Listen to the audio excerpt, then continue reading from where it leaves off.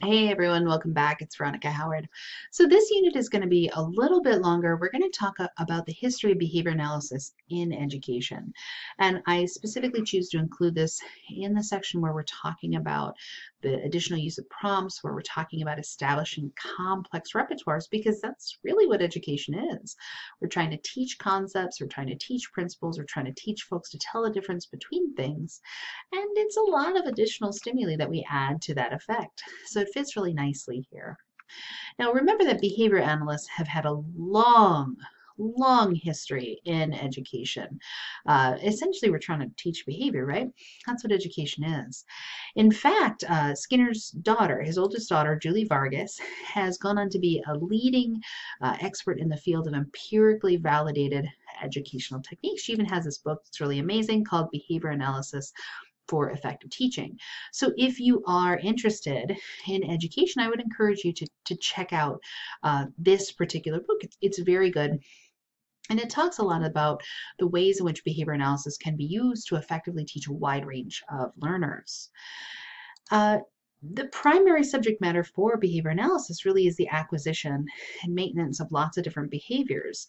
And when we talk about behavior analysts in education, we're typically looking at three major ways in which we use that training these uh, behavioral principles to foster uh, new knowledge, new, new behavior, new skills. So we have something called programmed instruction, uh, which is a very careful application. It does involve programming, just like the term says, using those additional antecedent stimuli to foster generalization.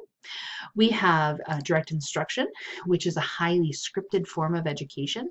It involves a high rate of response, lots of reinforcement, and then we have something called generative instruction, which is kind of a, um, a second generation, more advanced uh, really exceptional form of education that's used to uh, really effective means uh, for the most challenging students or students who need the most support. Let's talk about programmed instruction first. This was Skinner's major contribution to the field of education, and he was incredibly dissatisfied with the educational practices that he saw when he was visiting his daughters uh, at their school. So in 1953, he goes, he sees that the school is not really offering lots of opportunities to, to learn the skills, and he said, there's got to be a better way than this. So he comes up with this prototype teaching machine that I'm showing you here. This is one of the very first Skinner programmed instruction teaching machines.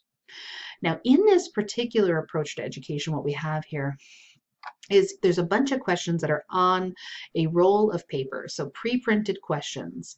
And the questions will be on this big roll, this cartridge that you insert into the machine, you roll the paper up. Questions appear in this window, and then the learner writes their response. They kind of put in their answer there. This was, again, super rudimentary. We didn't have computers in the 50s. So this was one way for folks to do that. They would write their answer. They would kind of roll uh, up the question. The written response was an active behavior that we could then later measure. We could measure this using permanent product recording, looking to see the results of the behavior, whether or not the question was answered.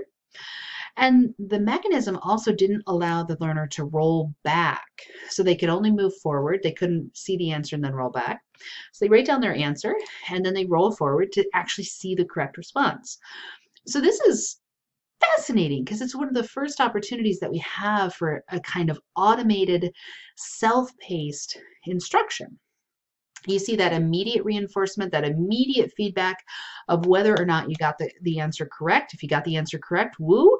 And if you didn't get the answer correct, at least you knew what it was immediately so that you weren't forgetting it or having to go back and review it. Now, programmed instruction uh, talks about a lot of these procedures, but you may notice that Miller's textbook does those. So if you've done any of the optional readings for this particular class, then you'll notice there's lots of questions and lots of blanks for folks to write answers. Miller's textbook uses this programmed instruction paradigm. And there's lots of repetition of these terms. There's lots of uh, use of generalization to promote understanding of concepts. So we're trying to see what are all the things that fit into a ca uh, category. We're using lots of multiple exemplar training to foster that generalization.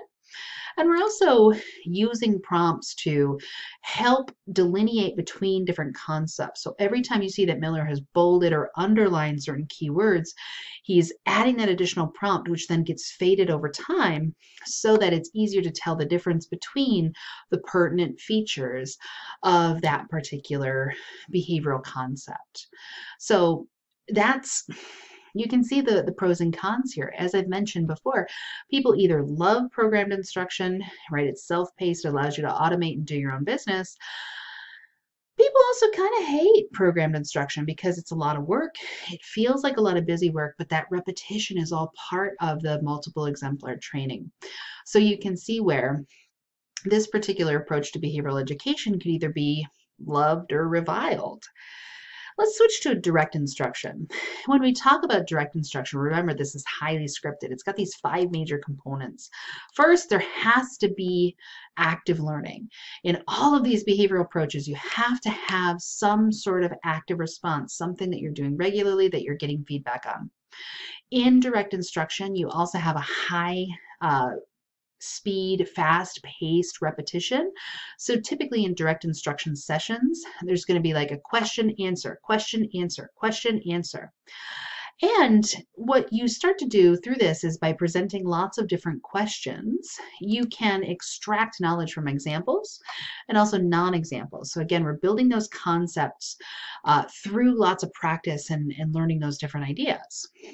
The challenge with direct instruction is that the teacher's role here is highly scripted. And so the teacher is presented with a script of how to deliver the instruction. They're given lots of questions, they're given the prompts, the specific prompts to use. And finally, there's frequent reinforcement. If the people are getting it right, yes, do it. And if they're not getting it right, you give that immediate correction. You say, no, not that, this instead. And then you practice it with the correct answer. There is a wonderful video of this that I'll put into the study guide of how this fast-paced, really fun direct instruction works. And direct instruction was developed actually as a result of some federal intervention. There was something called Project Follow Through. And it was this huge study in uh, sort of the 1960s and 70s. In this particular study, there were 700,000 children in kindergarten through third grade. And through 1980, uh, this study was run for, for quite a long time. It's very, very expensive. But the purpose here is that we're trying to find something that's going to work effectively for folks, even those who have a significant delay, people who have been significantly challenged by education, either because the access to education that they've had is really bad, the quality of the education that they've had access to is really bad, or because they're delayed in some other way. Now, in Project Follow Through, this huge 13 year study, the purpose of this was to try to figure out what, uh, which of the different educational strategies are most effective three different approaches were evaluated. First, there was an affective skill approach. Affective means like how do you feel about your learning? So this is another way of saying a kind of self-esteem approach. The idea of an affective skill approach is that if you're confident in your learning, you'll perform better. We'll see what the data say. There's also a cognitive skills approach. So cognitive skills approach refers to this idea that if you can describe the skill that you're performing, it will make it more effective for you to be able to do that skill. Again, we'll go back to the data in a second. And then finally, the basic skills approach. And these are programmed instruction, which we talked about before, the applied behavior analysis teaching, and this new direct instruction that was developed and then was evaluated. And to make sure that there was a limitation on the uh, bias from the researchers, the government contracted with Stanford Research Institute and the Stanford Research Institute analyzed and partnered with these ABT associates, these neutral third parties, for uh, reliability observers to make sure that there was agreement between there and that the, the quality of the study was not jeopardized. Because again, we're talking about billions of dollars. We're trying to find the most effective approach to education. We don't want to mess this up let's talk about the results of those different approaches. So the first one is that, that self-esteem or that affective approach. And what I'm showing you on the y-axis is the amount of progress per year. So essentially you want to see zero or above because it indicates that you're making a full year of progress. If you see less than zero, it means that you had poor learning outcomes. And what they were evaluating were three major areas basic skills, like the ability to actually perform it, cognitive skills, how people could describe it, and affective skills, how the learner felt or how they reported they felt about their competence and their fluency in that area. The problem with the self-esteem approach is, is that we see that across the board, it resulted in poor learning outcomes. The, the lowest outcomes were in basic skills across the board and Bank Street, responsive education, and open education. Uh, these what was most odd about this was that these were specifically designed to increase folks' confidence about their learning, and we actually see that it seems to have decreased self-esteem. We see that that's one of the areas where there wasn't as much or it wasn't as good performance, although there's it's a little bit better than the basic skills and the cognitive ability to describe those skills. Almost as if our self-esteem comes not from building up self-esteem or fostering the skill of talking well about ourselves, but almost as if self-esteem is a side effect of our ability to perform well. I'll put a pin in that. We'll come back to that later. The second approach that they evaluated, the second approach to education, was that cognitive approach. So remember, the cognitive approach is your ability to describe your skills as a way of mediating additional skill development. And the three different approaches here that are cognitive skill development are parent education, which is where you teach kids to be taught by their parents. Their parents are teaching them to kind of metacognitively analyze what they're doing and describe what they're doing. The TEEM approach and something called cognitive curriculum. And you see for TEEM and cognitive curriculum, significant reductions in learning. So it's really not necessarily about how you're able to describe what you're doing, it's about your ability to perform. But parent education was an incredibly effective intervention and increased, uh, interestingly enough, folks' confidence in their ability in themselves. So having parents involved is an incredibly important component of education. Oddly enough, these cognitive approaches decreased higher order cognitive understanding. So people were not able to as well describe what it was that they were doing with their particular learning approach. And so that's a big challenge. Now, finally, the, the behavior analytic approaches to education, which included uh, programmed instruction, that's behavior analysis, and direct instruction, that highly scripted, fast-paced, uh, teacher-led education strategy we see that the behavior analysis approach improved basic skills and improved people's confidence in their knowledge, but it didn't increase their ability to describe their performance or be able to to higher order reason through and explain to us how they came to those. So if you want to foster your ability to talk about your performance, it's almost like that's a separate response class. Your ability to perform and your ability to describe your performance are different behaviors. But we see that direct instruction saw amazing improvements. We see increases, dramatic increases in basic skills, cognitive functioning, and people were more confident about their learning. Let me just give you another example here. This is the same graph. These are the same data presented in a more colorful format. You can see that the approach to uh, education here, the effective uh, approaches to education were um, direct instruction, followed by involving parents, getting uh, parents involved, followed by that programmed instruction behavior analytic approach. So, great. It should mean that all of us have experienced direct instruction in our classes, right? Well, we didn't. And it's because there's a lot of pushback to direct instruction, even though there's a lot of support here. So there were subsequent trials to try to figure out, okay, why is it? What's going on? Why is this not being adopted? And here's what we know. So direct instruction was never widely adopted. Here's why. Critics of direct instruction see it as a kind of betrayal of a humanistic, egalitarian foundation of public education. Uh, there's a lot of resistance to the idea of teacher proofing curriculum the idea that uh, teachers are not unskilled workers that you can just script and send in like robots, that teachers are highly skilled, highly professional individuals, and they know their craft best, which I'm a teacher. I get where people are coming from with that. Uh, direct instruction's also been criticized as being incredibly inflexible. So this idea that it's going to handcuff a teacher, a teacher doesn't have the freedom to, to do what they want in their own classroom and teach the content in the way that they know their students are going to le uh, learn best. And despite the evidence that we see that direct instruction increases affective skills, it increases a person's metacognitive abilities to actually talk about their learning, there's some belief that uh, direct instruction produces rote learning or tiny robot learners, which is really heartbreaking. There's a belief that direct instruction doesn't foster higher order cognitive understanding, even though the data we just reviewed suggests that that's not the case. So again, we're doing some follow-ups. Let's see what they found. When you look at the different approaches, when you look at those project follow-through data, we see that cognitive, uh, higher order cognitive understanding was best with direct instruction, followed by the behavior analytic instruction. We see that self-esteem was highest with direct instruction. So this is the best approach to education, but folks don't use it. And this is actually really common in behavior analysis. I'm using this as an example of the fact that though behavior analysis is incredibly powerful and very effective, it's often not supported. It's often not seen as very socially valid and it tells us that we have a little bit of a reputation problem.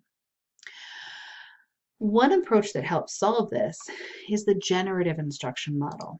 In the generative instruction model, this approach to education uses a combination of direct instruction and programmed instruction techniques. And what they're doing here is we have small classes and there's an emphasis on fluency. We're increasing the rate of correct answers over time.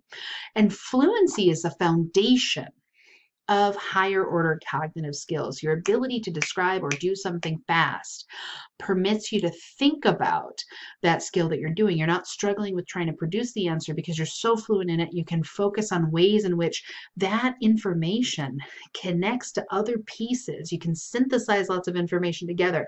You can see where it connects and you're not focusing on just, oh, what's the answer here? You're focusing on how is this applicable in lots of different ways that's part of the reason why I continue to use Miller's book is because fluency is so important. And this is used at a place called the Morningside Academy. They have one of the best programs and it's been used for kids who traditionally struggle in mainstream education Kids come in, they use this generative instruction model, and it's incredibly effective. So effective, in fact, that the director of the Morningside Academy, Dr. Kent Johnson, says he's got a money back guarantee. We tell families that their children will gain at least two grade levels in their skill of greatest deficit or their money back and we've returned less than 1% of our tuition in 25 years. It's an uh, incredibly effective model. And they show that, they demonstrate that with students learning on standardized achievement scores. So what they have here, what they're displaying here, is year by year by year, how many grade levels of progress are kids making per year. So on the y-axis, we're showing the number of years of grade progress. Along the x-axis, along the bottom, I'm showing you the school year, the, the cohort of the kids. In the um, generative instruction used by Morningside Academy, we see that kids are making, on average, two years of progress. Some are making as much as two and a half, and you see that the progress only gets better over time. They're refining that uh, implementation. We see that here toward the end in 1992, kids were making three or three and a half years of progress in their language art skills in a single year of education. Generative instruction is pretty amazing. Again, it's that combination of uh, scripted, programmed instruction. We're talking about direct instruction strategies, and we're talking about building that fluency as a foundation to other skills. And there's no problem with doing those skills and practicing often and getting feedback. Kids are incredibly motivated by it. It's a really great approach, and I wish that more schools knew about this if you ever get an opportunity to check out the Morningside Academy, I hope that you'll take it. I'll see if I can find some resources to share with you about their program. And just to quickly summarize, remember behavioral approaches to education are incredibly effective, but they're unpopular. And for the most part, behavior analysts we have a little bit of a reputation problem. Part of it is because we need to improve the way in which we communicate with our stakeholders. And part of it is because systems are well established and it's very hard to change an established system. If you're interested in behavioral approaches to education, let me know. If you want to know more about systems change, you might consider taking a class called Organizational Behavior Management, where we actually talk about how do you adjust the behavior of behavior change agents like teachers and managers and business owners. Thanks so much for joining me. I'll see you next time.